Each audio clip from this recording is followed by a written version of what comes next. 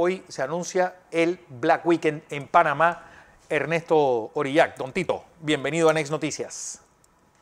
Gracias, Fernando. Un gusto estar aquí esta mañana con, ustedes. La verdad, un placer para mí poder eh, conversar con ustedes sobre, sobre turismo, sobre la Convención Nacional de Turismo con Actur y sobre también el, el Black Week, como tú, que se va a dar todo ahora en, septiembre de, este próximo mes. Ah, bueno, va a ser en septiembre.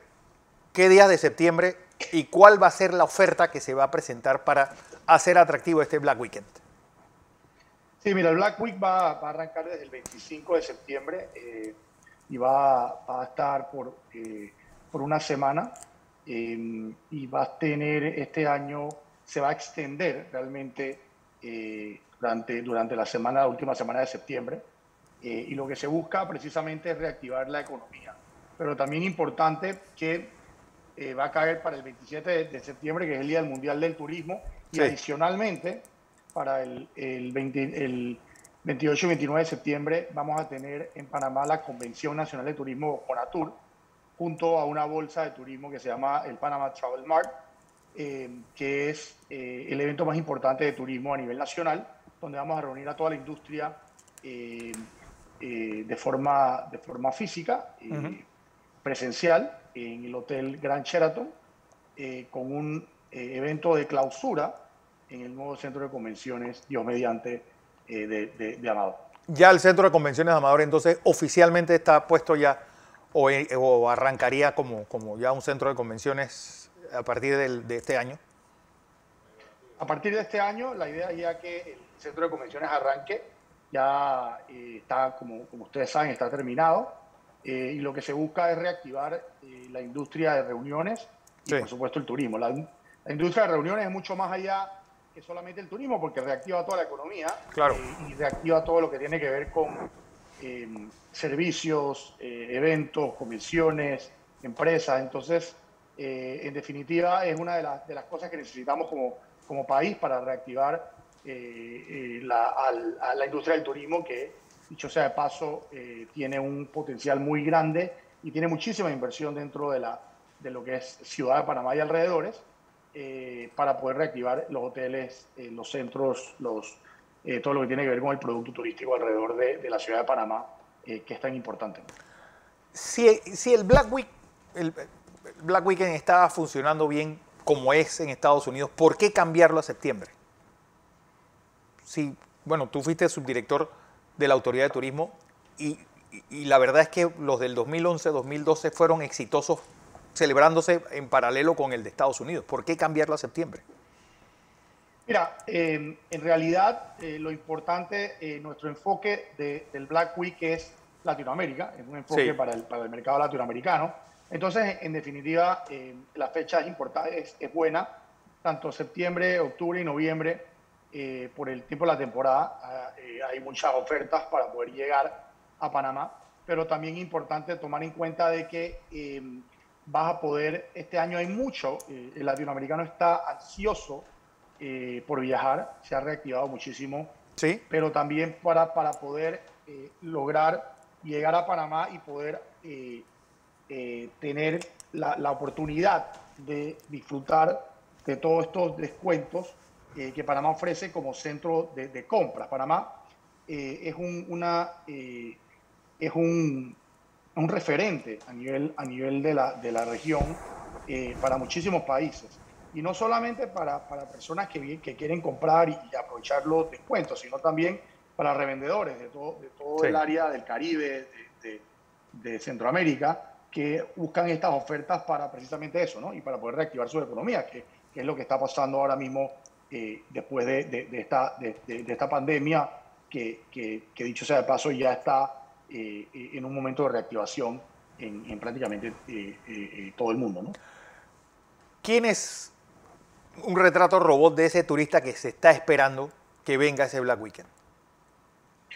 Mira, nosotros deseamos que se reactive eh, en definitiva, el, turismo en Latinoamérica, que es tan importante como te mencionaba.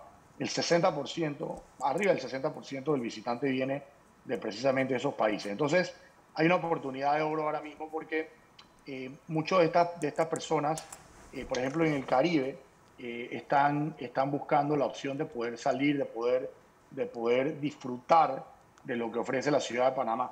La ciudad de Panamá es un destino para, para, sus vecinos, cosa que, que, difiere en muchos de los otros lugares, otros países cercanos a nosotros, porque es aspiracional para, para las personas que vienen como dije, de, de, Centroamérica, del Cono Sur, de, eh, del, Caribe. Entonces, eh, eh, si tú vas, lo que vamos a tener en línea es una, una ofertas muy interesantes para esa fecha y al mismo tiempo poder, poder, como te dije, disfrutar de los restaurantes, de la gastronomía, de la, del canal, del, del producto de la ciudad, mientras puede disfrutar del Black Week. Y por supuesto como te decía, la, Gran Convención Nacional de Turismo CONATUR, que lo que hace y lo que busca es lanzar finalmente eh, a Panamá internacionalmente. Es muy importante eh, este evento de, CONATUR, porque la Convención Nacional de Turismo lo que va a hacer es que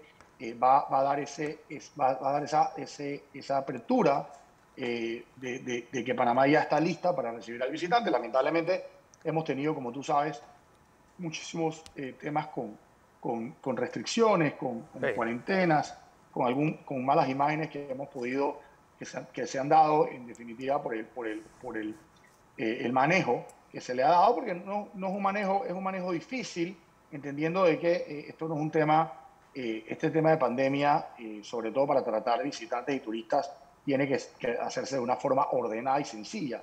Entonces, ya en este, en, en este periodo, lo que buscamos y con, con la convención, con, con Panama Black Week, y con todos los eventos que van a estar pasando a finales de septiembre, es precisamente decir, ¿sabes qué? Ya Panamá está preparado y está listo, está vacunado también. En ese momento vamos a tener una gran cantidad, si no la gran mayoría de los panameños deberían estar ya vacunados. El proceso de vacunación va bastante adelantado y nosotros exhortamos a que sea así, porque de esa forma Panamá va a ir, saliendo rápidamente de, eh, de la pandemia y va a poder ir reactivando todos sus sectores, incluyendo el turismo. ¿Qué va a hacer Panamá para que no venga pues, turistas y que pues, propaguen esta pandemia? ¿Se va a pedir doble vacunación de entrada? ¿Se va a pedir, además de este hisopado, alguna otra, algún, algún certificado de vacunación a los turistas que vengan? Por supuesto, ya, ya, ahí, ya está en, línea el, tema de la, de la vacunación para, para los países. Eh, y todas las personas que vienen, eh, que vienen ya vienen vacunadas, las personas que no vengan vacunadas tienen que eh, someterse a una serie de pruebas. Pero, pero importante, Fernando, entender de que, el virus no va a entrar o no entra por Tocumen o por el aeropuerto como muchas personas piensan. la incidencia en el aeropuerto de Tocumen, si tomas en cuenta los números desde el principio de la pandemia, es menos del 1%. O sea, estamos hablando de que andábamos por alrededor del punto, punto 0,8% entendiendo que la incidencia en Panamá está entre 6, 7, 8%. Entonces, eh, en definitiva, no es un riesgo, eh, por supuesto siempre hay un riesgo, pero es un riesgo mucho menor, pero lo más importante es que puedas, puedas tener todos los controles como lo, como lo tienen, eh, como lo tienen otras, otros destinos, y creo que ahí también la importancia de, de, poder estar vacunado. Mientras, mientras el panameño está vacunado, obviamente también se va a hacer algún, algún tipo de, de de, llegar a, un tipo de inmunidad colectiva, que lo que ayuda es que eh, el, virus no solamente no se propague, eh, sino más bien no haya una incidencia de hospitalizaciones, ni muerte, ni mucho menos, que es lo que se busca, ¿no? Porque, porque al final eh, esto, esto ya, ya, no es, ya no es una pandemia, ya, ya es una endemia, ya, ya esto va, va, va, a otro nivel, ya tenemos 18 meses en este, en este tema y ya, ya lo que estamos viendo es que con las vacunas, gracias a Dios, eh, la, el, la, el, riesgo de que eh, tú acabes en un hospital o que tengas un, un, una, un virus o que pueda ser, o la muerte, prácticamente se, se, reduce a, a, a, un porcentaje muy, muy mínimo, que, que, es lo importante. Así que exhortamos a que, que los panameños se puedan vacunar y que podamos reactivar no solamente el turismo, sino todo, abrir las escuelas, los comercios, levantar las restricciones, los toques de queda, la movilidad y volver a, la, normalidad, pero por supuesto teniendo en cuenta todavía todos los protocolos de bioseguridad y tomando en cuenta que creo que, que es, y estoy seguro que es lo más importante, y es una de las formas como Panamá se ha podido cuidar y sabemos ya que tú puedes hacer eventos, puedes hacer reuniones, puedes hacer todo si tienes, si llevas adelante los protocolos, si estás vacunado eh, y, si, y si obviamente te estás cuidando. Entonces, seguir adelante con todo esto, eh, seguir bajando la incidencia de los casos.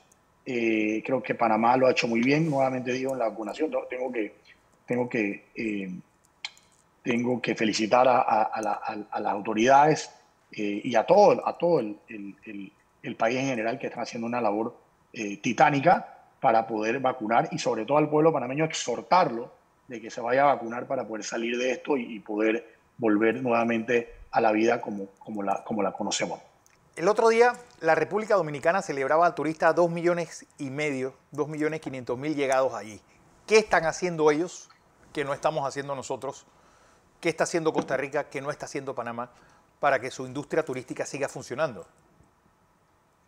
Mira, yo te diría que en, los temas de, de, la, que tienen que ver con el, el, tema sanitario, han entendido la importancia del, del, turismo y, han dado, y le han dado la, la, importancia de que se tiene que convivir con, con esto, pero de una manera inteligente. Cuando hablo inteligente es que manteniendo los protocolos que te comentaba, claro. pero abriendo el país con las, eh, las medidas eh, eh, que sean necesarias. Por ejemplo, en República Dominicana se abre el país a todos los vacunados sin ninguna necesidad de pruebas. O sea, los vacunados pueden entrar sin ningún problema porque el ministro de Turismo lo ha dicho en repetidas ocasiones.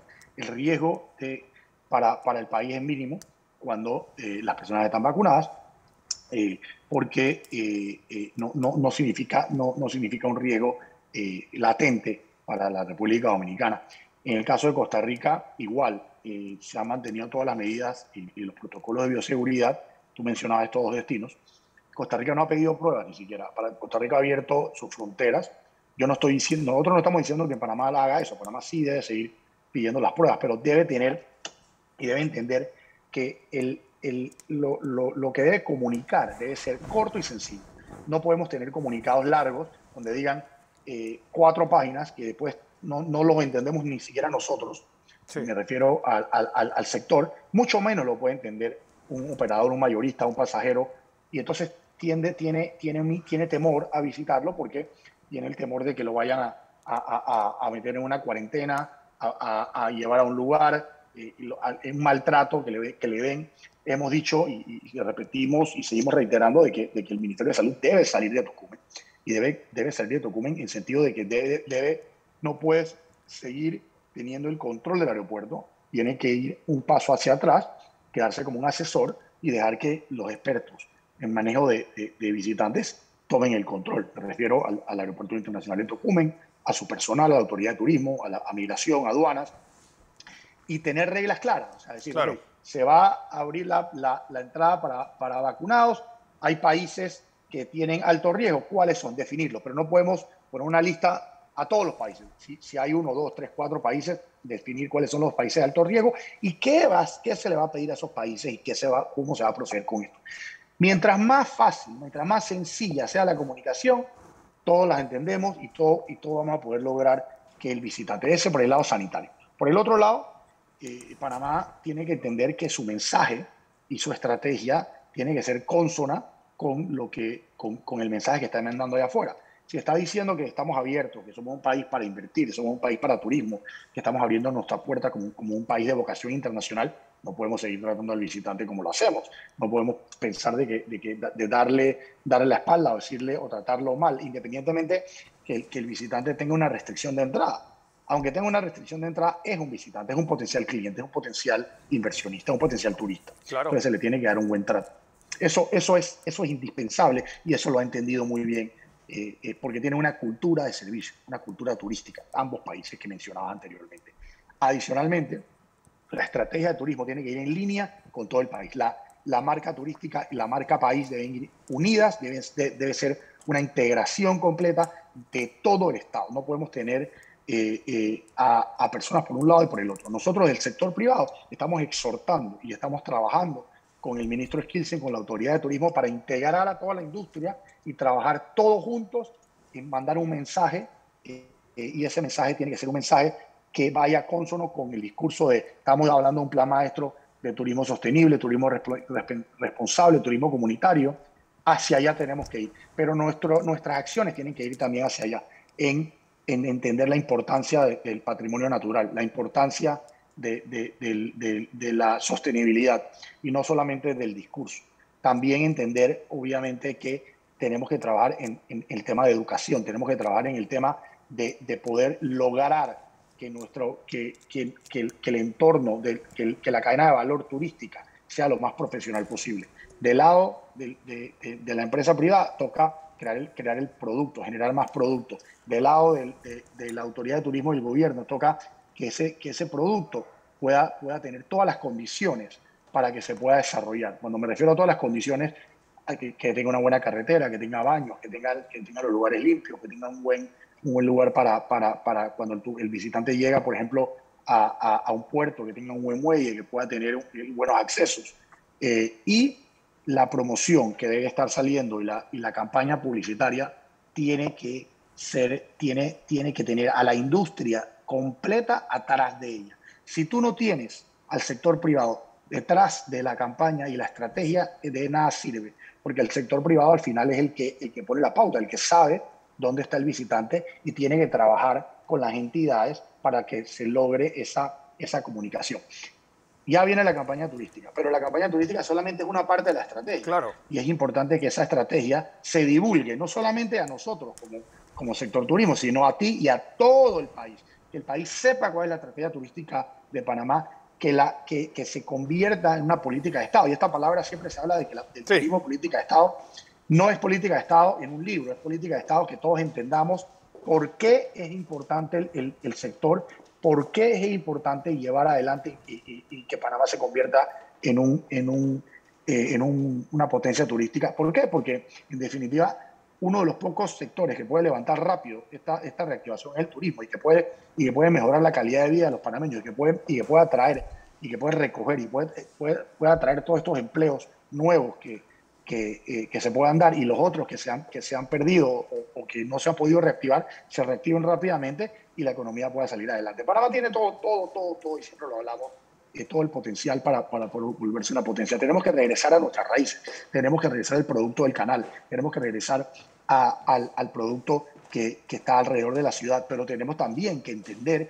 la importancia que tiene el interior si se llena el país, si se llena la ciudad, si empezamos a mover, si empezamos a crear el producto tenemos que reactivar los tránsitos por el canal. Tenemos que entender, la, autoridad del canal de Panamá tiene que entender que tenían que, reactivar el sector, el, centro de visitantes, todo esto. O sea, no puede ser que todavía tengamos restricciones, por ejemplo, a los tránsitos del, canal, que es uno de los principales productos turísticos del país, eh, cuando, el, cuando no hay ni un riesgo de, poder manejar.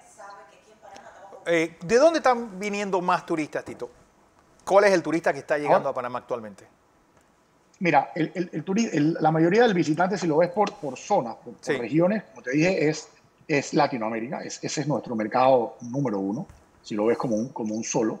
Y lamentablemente el golpe que hemos tenido tan fuerte es porque hemos, eh, no, hemos tenido una, una muy mala reputación en el sentido de que pusimos en la bolsa de, de, de, restricción a todo Sudamérica en un momento. Pero no solamente por cuestiones de, de forma, sino sino también, perdón, con cuestiones de fondo, de poder atender toda la restricción de todo Sudamérica, sino la, el trato que se le dio. Se llevó entonces, se hizo una muy mala reputación y ese, y ese, ese visitante que estaba, que estaba llegando a Panamá obviamente se ha disminuido en, en, gran parte. El otro, el otro, obviamente, nuestro mercado meta es Norteamérica, Estados Unidos, eh, que, es, que es, es, es, muy importante. Pero para lograr eso, para lograr que ese, ese mercado se reactive, tenemos que tener una serie de cosas que son importantes. Por ejemplo, eh, seguir trabajando en, en, el producto, trabajando en el, en el airlift, o sea, la, la conectividad, el destino final Panamá, para poder lograr eh, buenos precios eh, accesibles a Panamá, poder empaquetar el producto en, Norteamérica y poder ser accesible para Panamá. Entonces, el, visitante llega, como te dije, de, de Latinoamérica y de Norteamérica, siendo Estados Unidos el principal país, pero siendo Colombia eh, casi a la par por la cantidad de, vuelos y la disposición de, eh, de conectividad que tiene eh, en las diferentes ciudades. A eso se le suma también países vecinos como por ejemplo Ecuador, bueno, en Norteamérica, Canadá, México, por ejemplo, un mercado importantísimo que no se le ha dado la, la importancia que requiere. Pero, por ejemplo, Tito, veo y, uno ve, ha habido limitaciones de vuelos y, por ejemplo, los precios a la Argentina están realmente impagables. Y, por mucho tiempo uno vio turistas argentinos aquí, pero con estas restricciones que hay yo creo que van a desaparecer. Sí. ¿Por qué? El tema, el tema Argentina es complejo, ¿no? Es muy complejo, sí. Por, el, por el tema local, de, lo, que, lo que está pasando en la Argentina, eh, y por, lo que tú decías, eh, eh, por el tema de, de también de, los precios, de la, de la disponibilidad aérea por, por, la ruta. Obviamente, en ese, en ese sentido, la ruta, la ruta aérea estaba muy limitada y tenía una gran demanda. Entonces, los precios obviamente se incrementan. Entonces, para cuando, un visitante toma una decisión, casi el 50% o más de esa decisión va a depender del, boleto aéreo. Entonces, aquí yo creo aquí es importante, y hemos estado hablando de, poder no solamente incrementar, ir incrementando ahora las rutas eh, con, eh, las diferentes ciudades en los diferentes países en Latinoamérica, pero también eh, buscar posicionar los aeropuertos alrededor del país y buscar alternativas de vuelos que lleguen, por ejemplo, a aeropuertos alternos. Eso es una, una posibilidad importantísima que se debe trabajar. En el caso en el caso, por ejemplo, de aeropuertos como Río Hato, el aeropuerto de Howard, e incrementar la, mayor, mayor cantidad de aerolíneas en Tocumen también, importantísimo. Claro. Eh, trabajar, trabajar el tema de, de tú hablabas de, de, los Estados Unidos, yo te digo, tenemos que trabajar ahí el tema de, introducir nuevas aerolíneas como lo, como lo hizo, como lo ha hecho Colombia, como lo ha hecho Costa Rica, como lo está haciendo Centroamérica. Tienen, tienen 30, 40 frecuencias de, aerolíneas eh, de Norteamérica, o sea, aerolíneas locales, por ejemplo, aerolíneas que son netamente turísticas, en el caso de Southwest, JetBlue eh, eh, y otras que van en esa misma línea, ¿no? Air Canada. Eh, pero yo te diría que por ahora lo importante es seguir apostándole a, tener la, mejor atención al visitante, darle prioridad al visitante y ver a ese visitante como un bueno, tenemos problemas con la conexión. Y de crecimiento que, que entendemos que está para, para, para, como dije anteriormente. Bueno, don Ernesto Titorillac. Hoy entonces anuncio de el Panama Black Week a partir del 25 de septiembre. Gracias por ese pantallazo Muchas gracias. de toda la industria turística nacional.